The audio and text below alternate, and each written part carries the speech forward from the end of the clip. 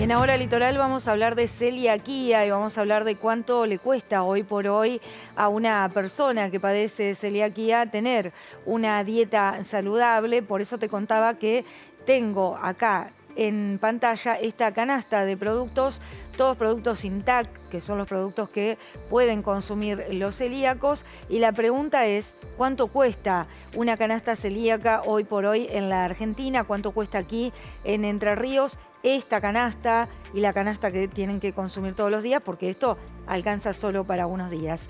Estamos eh, ya en compañía de Cecilia Pautazo, ella es eh, presidenta de la Asociación de Celiaquía en Entre Ríos y tiene la gentileza de estar aquí con nosotros. Buena mañana, Cecilia. Bueno, muchas gracias por la invitación, un gusto. Y gracias por traer todos estos productos que, como decíamos, alcanzan tal vez para 15 días.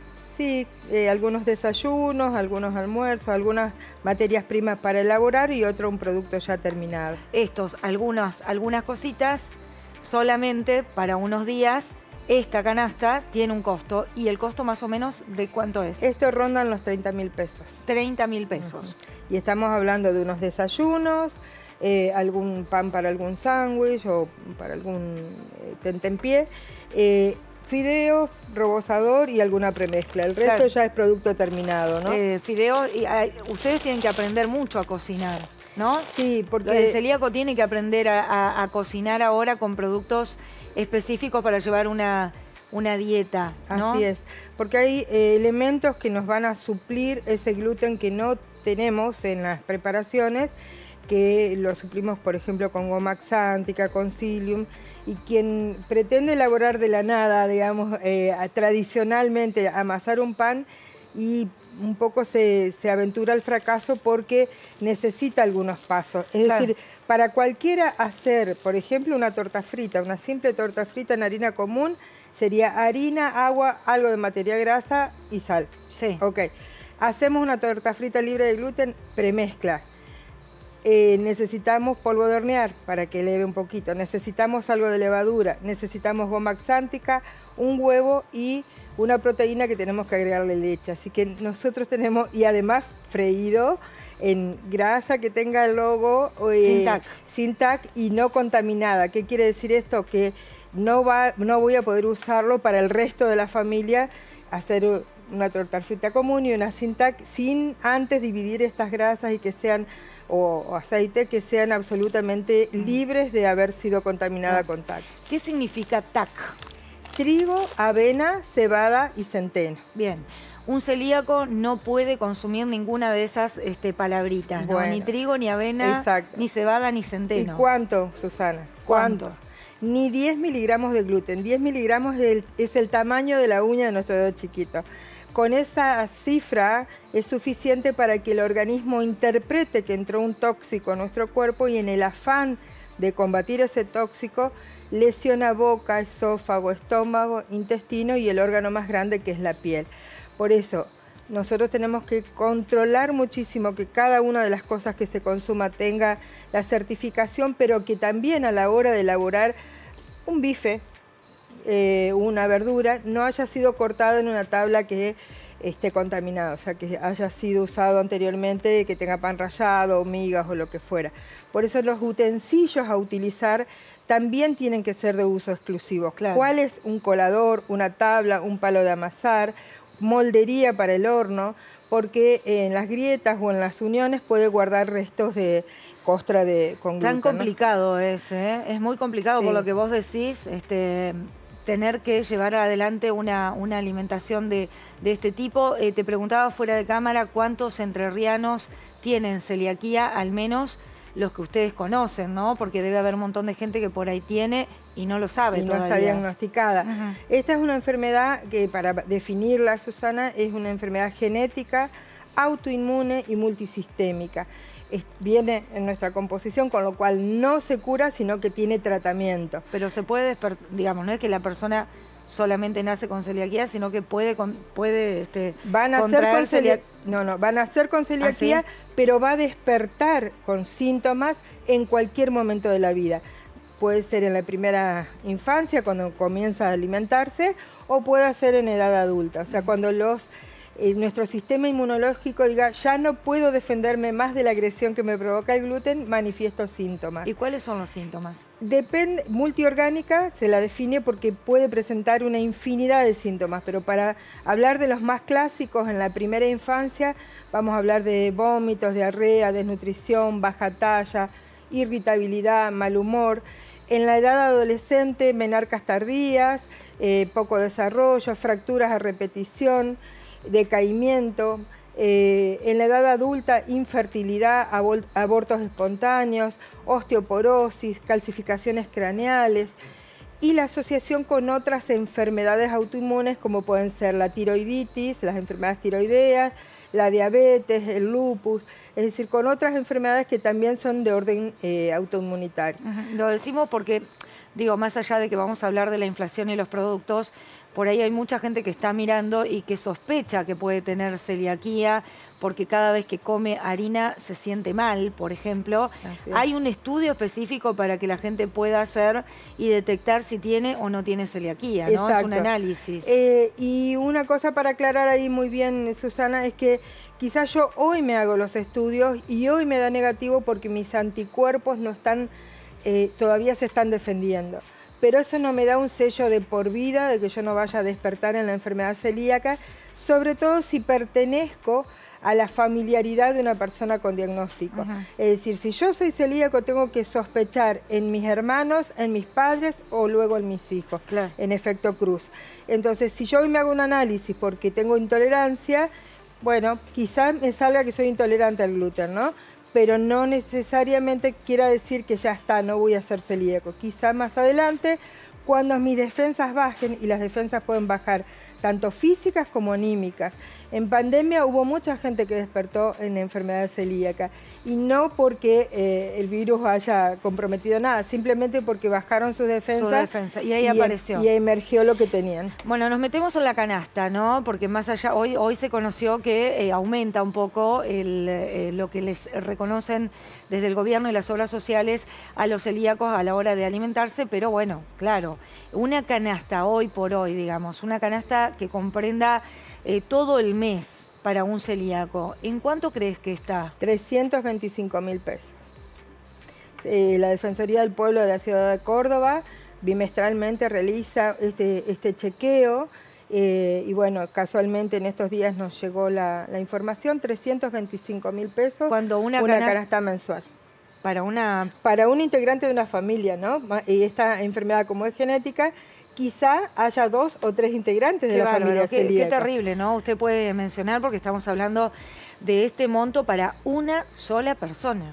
Sí. O sea, cuando hablamos de estos montos eh, para una familia tipo, por ejemplo, para no caer en la pobreza o lo que necesita para, para comer todos los días. Con lo cual, eh, ¿cómo hacen, no? ¿Cómo hacen? Monotonizan la alimentación, arroz y polenta el mes completo y de vez en cuando alguna galletita.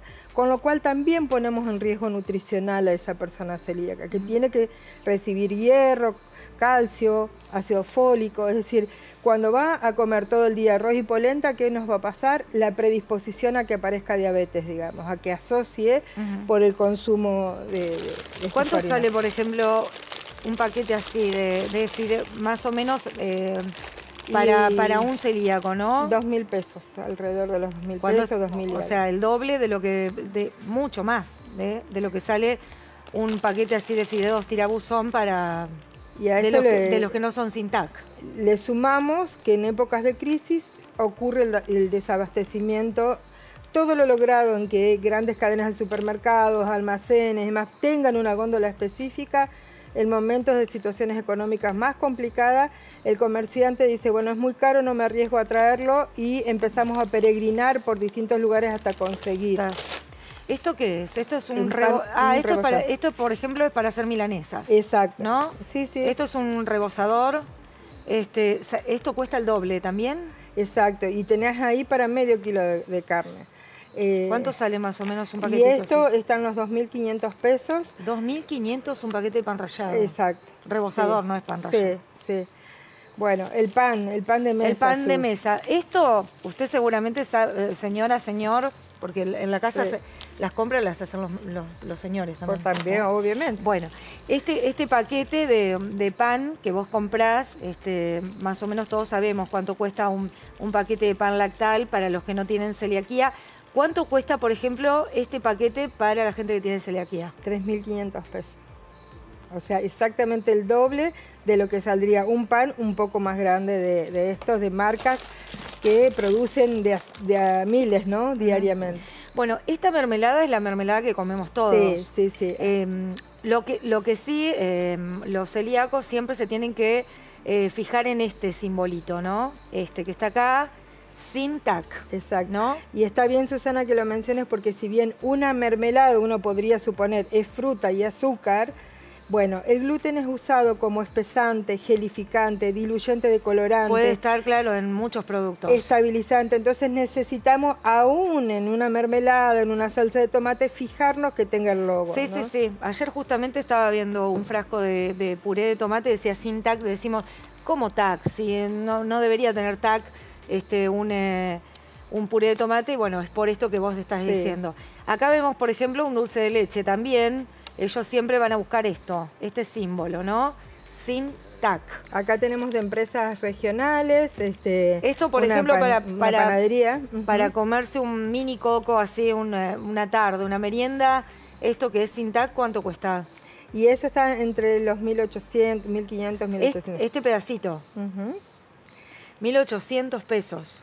Sí, y te aclaro una cosa, quizá también lo que nos está faltando es que los organismos pertinentes como de defensa del consumidor hagan los controles. ¿Por qué? Porque quizás en una dietética lo encuentro en un precio, porque quizá el volumen de compra de ellos fue mucho menor, que en un supermercado que hacen volúmenes eh, más amplios y obtienen otro tipo de precio. Entonces eh, hay que recorrer también, ¿no? Em, eh, con el precio, claro, porque vos decís, si vos aprendés a cocinar, por ahí esto te lo podés hacer en tu casa y, cuesta mucho menos. Por supuesto, es importante. Es importante que la gente aprenda, aprenda a hacer sus propios productos. Acá, por ejemplo, tenés esto es para hacer levadura. pizzas. la, levadura que ustedes tienen que... Y para masas dulces, ¿ves?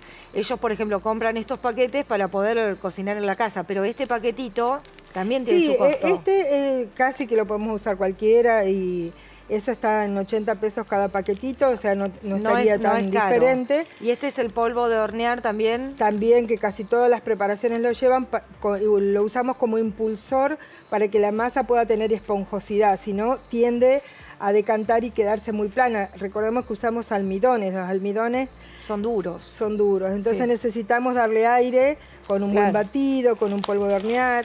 Acá, ¿dónde estaba lo de la elástica? Que la, no la goma axántica, que pero bueno, en realidad por acá pero es necesario poder usarla en las preparaciones. Bueno.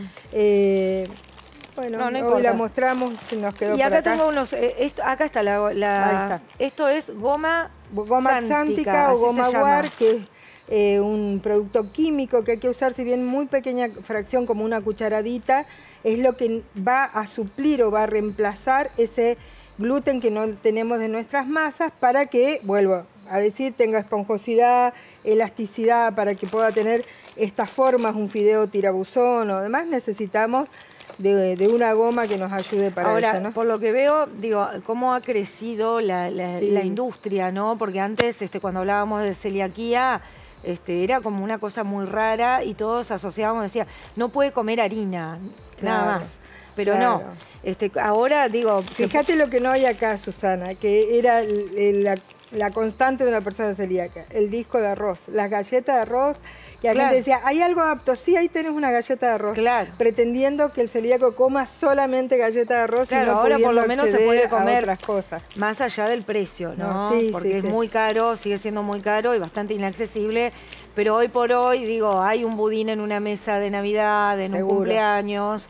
Eh, se puede, o sea, hay este productos. Sí, sí. Pasa que los precios son muy elevados. Sí, sí, ¿eh? por eso el consejo siempre es buscar, no dejarse abusar, digamos, en estas cosas, eh, aprender a cocinar. De hecho, yo voy a estar, te comentaba, 4 y 5 de noviembre está la Expo Celíaca en Costa Salguero, Buenos Aires, y fui invitada por una empresa a desarrollar algunas recetas y es importante porque buscamos, la, por lo menos lo que yo desarrollo, busco eh, que sea muy simple, con dos o tres ingredientes recordables y pudiendo hacerlo no solo en mi casa, sino si me voy de vacaciones a algún lugar, en un bungalow, poder elaborarme algo y no eh, quedarme en el intento, ¿no? Claro. Entonces siempre para ello el material descartable, como podrían ser las latas de aluminio y demás, son nuestros aliados para estas cosas. Bueno, muchísimas gracias eh, Ceci y gracias a la dietética que nos ha aportado todos estos productos eh, para hacer escuela hoy aquí en el, en el programa. La dietética es... Delicia Sintac en la Avenida Las Américas como el 2900. Pero no dijimos el monto, me parece. Sí, 300. ¿De esta canasta sí? sí, lo que no dijimos el monto que aumentó de las obras ah, sociales, que eh, de los 7.806 pasamos a dar, eh, se pasó a dar cobertura con 13.120 pesos. Bueno, nada, no alcanza para nada. Uno podría decir, buenísimo, duplicó el monto, pero siempre quedamos este, muy atrás con la Recontra atrás, estamos hablando de una canasta de 300.000 para cada persona. ¿Algún contacto? Porque puede haber mucha gente mirando que también quiere hacer alguna consulta. ¿Dónde, lo, dónde encontramos a, la, Asociación de Celíacos? No tenemos sede, pero nos pueden escribir hacer, sin H y C, hacerparaná.gmail.com o me pueden encontrar en redes de Instagram, canal de YouTube, donde hay varias recetas y demás, como Cecilia Pautazo, con una sola S. Con gusto es una página de servicio, no de venta de nada, así que eh, voy a estar brindando información allí. Gracias, Cecilia. Siempre un placer escucharte. ¿eh? Igualmente, Muchas gracias. ¿eh? Gracias. Hasta luego. Seguimos.